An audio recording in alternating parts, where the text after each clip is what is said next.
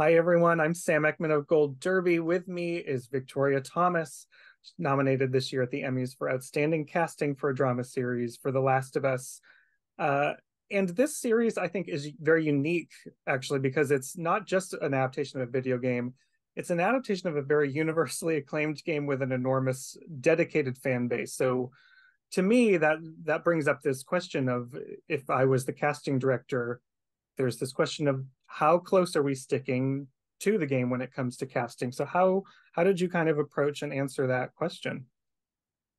Well i think uh, from the beginning uh, we wanted to have the ability to introduce uh, sort of new actors into it but also to sort of honor the game and honor the actors who have been a part of it um, and also honor the fans uh, by including, you know, like Jeffrey Pierce and, and various people from the game, so that we had sort of a nice mix of, you know, sort of known and unknown, at least at least vocally from from the game.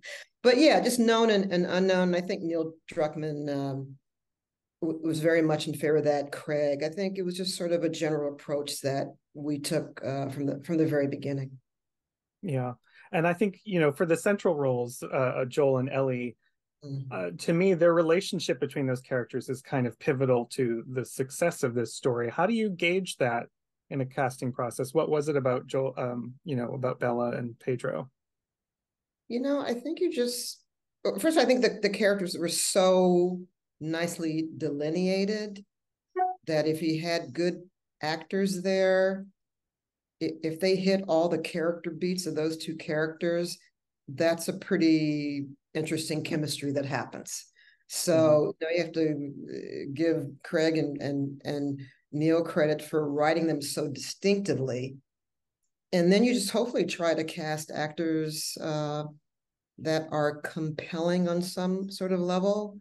Um, I mean, uh, I think with Bella and with casting that particular role, um, it, it was hard trying to get someone who was very young, but who had a sort of lived life within her. I mean, she had a toughness, um, just a, a, sort of a depth, along with being a young girl that we were sort of looking for. Um, we first started to look at uh, sort of actors. I think they were like 15 and younger. So we were starting off very young, young younger than Bella. And um, there are varying degrees of either really great, but didn't have the sort of uh, toughness we wanted or eccentricity that we wanted. Um, and Bella just seemed to sort of fulfill um, sort of everything that we were looking for. Plus, she's just sort of eccentric. You know, she's just sort of unusual, you know? So she's not the average, like, young girl, just in, in look and attitude and feeling. So that's that's what happened with her. Uh, and you mentioned Craig and Neil before. Um, I would love to hear kind of your process as casting director because you have to sort of team up with a director or writer to fulfill their their vision. So does that feel like starting fresh on every project? You have to kind of do a 180 on every new project you do? Well, I think every director is different. It's the first time I work with Craig. So it's sort of trying to figure out how they work. Um, I think it was very good at communicating what they were looking for. They were very precise because we would ask for character descriptions and they're very specific. So that's really helpful. Um, you know, this was a process that was started during the pandemic and everything was done via Zoom. We started casting this in the fall of 2020. So, you know, Craig and I never met in person until the premiere, like two years later, two and a half years later. So it's also that was sort of a, you know, just sort of a it's something you have to work your way through, you know? Certainly. So it's, uh, but we managed. So yeah, I don't know if that answered the question. Yeah, yeah, it does. Um, I, I was also I wanted to go back to another thing you said, which was the the kind of mix of well-known actors and unknown actors. Mm-hmm. When you have both of those in a project, what is the decision making process like of where do we put this new find this new discovery of an actor well it's uh it's always an odd uh you know there was a desire on our part to have a couple of other big names in other roles and it just didn't work out. Um i think one of the things that uh made uh getting i guess bigger names or whatever uh, for the show was that you know most of these characters have one episode.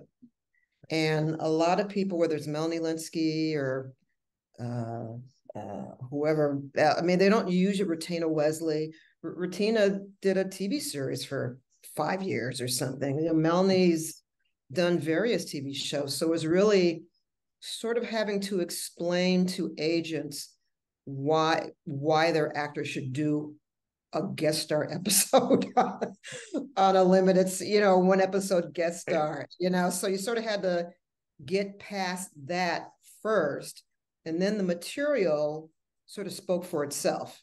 And then Craig had relationships, I had relationships. So by hook or crook, we got some of the bigger known people into it, and hopefully not in a way that, you know, took you out of what out out of the the show the, the atmosphere that the show was was setting the world yeah. that we were Rutina Wesley was one of the performances I really enjoyed because it was surprising to me as someone who played the game because she came at it with a very different energy mm-hmm. from what is presented. Was that a conscious choice of I want someone, you know, we're looking for someone who's going to bring something really unexpected to that role? I think we just wanted a good actor and someone who was believable as being a former was was like a DA in a big city and you know I think that's what we are going for. I don't think we were necessarily saying we're going to go against what she was in the game and point her in a different direction. We just wanted a really good actress who conveyed a certain you believed her as a former DA and you know who's a very good actress that's it really wasn't anything about it wasn't a conscious effort to go against any other uh, interpretation of the part. Mm-hmm. And I think one of the the really great you know unknowns uh, discovery for this show is the uh, Keivonn Woodard, oh, who yeah. it's his first series, uh, yeah. and he scores an Emmy nomination for it. Yeah. That has to make you a, a, bit proud and and happy for for getting him in this. Very. Yeah.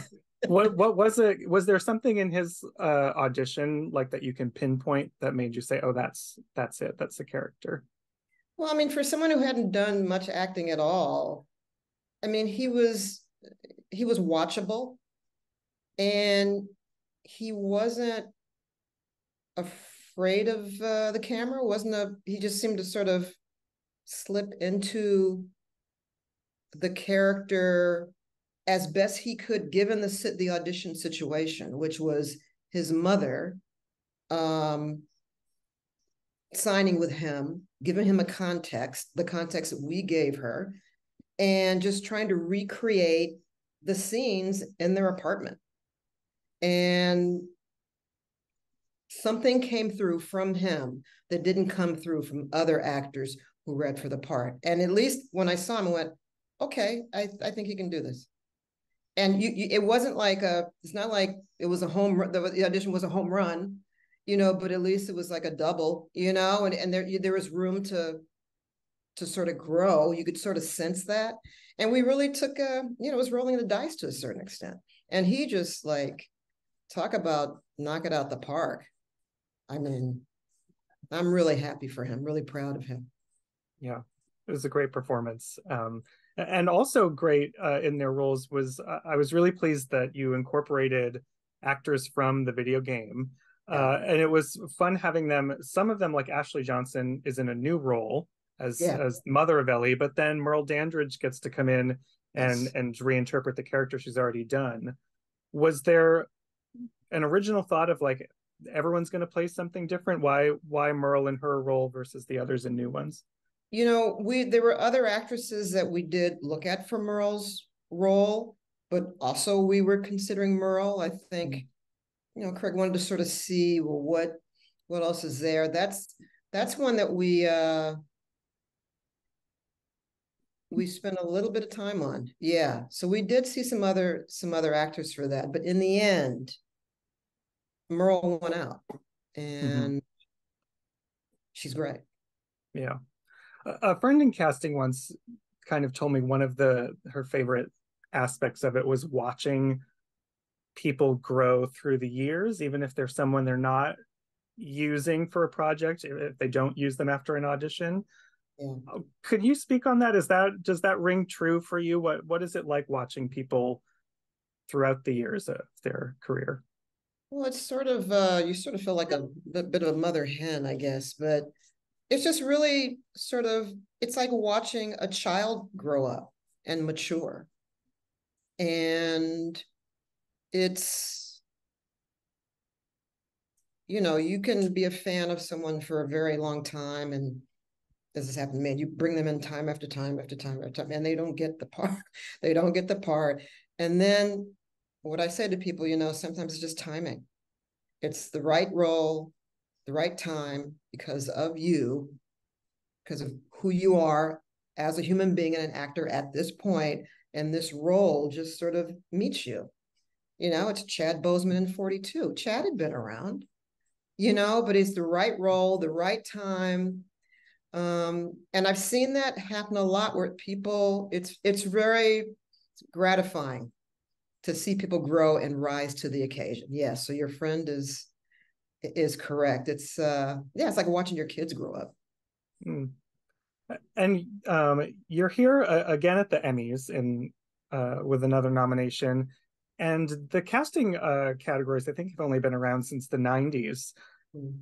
It's interesting because it's not a discipline I think that many awards bodies include the Emmys, thankfully do, but um, yeah. I feel like there's maybe like misconceptions or many unknowns for certain people about what yeah. goes into your work. So what what would you want to tell those folks about what you do? What why is this job so vital and exciting to you? Well, I think it's uh, you know like a it's creative. It it affects the movie or the television show. It's you're in partnership with a director like you are, like a DP is, like a costume designer is, like a, you know, uh, the various department heads are. And uh, it's, hmm. I mean, I think we really have a big influence on what, on who you're looking at up up on the screen in collaboration with a with, with a director. So I feel like it's impactful. I feel like our job is very impactful and it's creative. And it's weird, you know, we do a lot of things, it's all behind closed doors, you know, and there are things that you can't say. You know, you can't real I can't really get into certain aspects of auditions and and th- you know, and there are conversations that are had that are sometimes hard conversations, you know, there's you have to have to be sort of a safety a very safe place because you can be very uh, blunt about things and people and, and you have to be able to do that without someone taking it personally or without it being seen as as as personal so i think a lot of people don't know what we do because a lot is done behind closed doors and i think what's great about what we do is that we really are uh, affecting how a movie's going to turn out and that's very exciting Yeah. well, uh, you certainly affected this one in a great way uh, because Last of Us came together beautifully. So yeah. thank you for for walking me through it, and for everyone watching, make sure you subscribe to Gold Derby. Stick with us the rest of this season. Victoria, it was a pleasure. Thank you so much. Thank you, Sam. Appreciate it. Bye bye.